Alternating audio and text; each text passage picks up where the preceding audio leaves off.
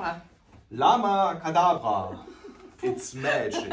Und wir schauen uns das Ganze mal an. Äh, auch ein Amigo-Spiel. Kartenspiel größer. Öffne das doch mal bitte vorsichtig. Vorsichtig, genau. So, zack. So, also auch wieder plastikfreie Verpackung. Sieht aus wie die anderen Spiele. Da gibt es auch andere Spiele mit Lama. Richtig, irgendwas. genau. Das ist aus der Serie wahrscheinlich eine Fortsetzung und klappert. Oh, weiße Spielsteine. Schön, dass man sich sogar hier treu bleibt und die Verpackung. Hier Der, hat es nicht ganz geklappt. ja, gut, irgendwo ein Schlüssel. Ja, bei diesen, ähm, Voila. genau. Was haben wir denn bei Lama Kadabra? Oh, hier haben wir noch, was ist denn das hier? Aufkleber? Nee, das ist, ähm, Punkte. Nee. ja, also irgendwas zum, Es sieht klassisch aus wie ein Amigo-Spiel. Mhm. So kennen wir es.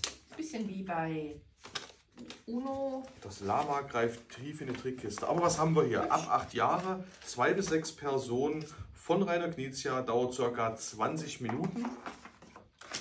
Und, ähm, was haben wir denn hier? Ein Lama. Zum Verwechseln ähnlich. Äh, Familien, also genau die Hälfte zwischen Familienspiel und Profispiel. Glückslastig ist es ein bisschen und auch wieder ähm, zwischen ruhig und turbulent angesiedelt von der Bewertung, die Amigo selber vergibt.